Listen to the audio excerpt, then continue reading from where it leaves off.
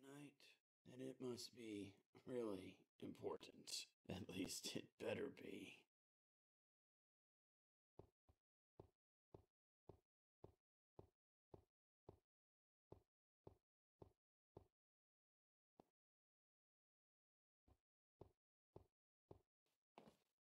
There's nobody here.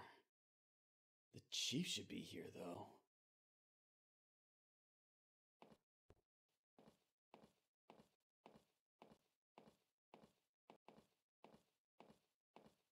Hello? Is anyone in here? Sorry, I'm still pooping. Ugh, is that you, Doug? Uh, no. You happen to have some toilet paper? No, sorry. Dang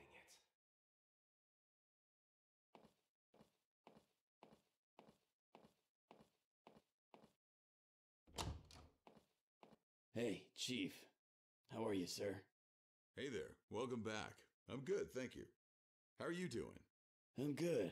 A little tired, but thank you for asking, sir. What's going on tonight? Why don't you have a seat first? There's a case that I need you to figure out tonight. Are you ready for the details? Yes, sir.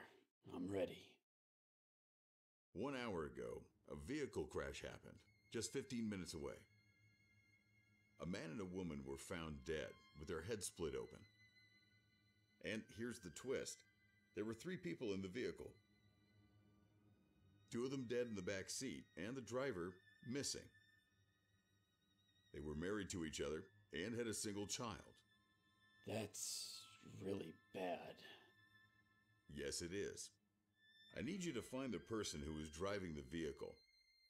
Your best luck would be searching their home. Did you copy that?